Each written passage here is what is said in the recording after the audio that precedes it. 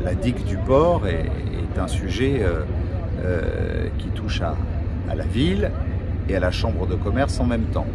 Si euh, on ne requalifie pas, si on ne met pas des lieux d'attractivité économique, c'est un coût de 35 millions d'euros plein pot sur l'argent du contribuable.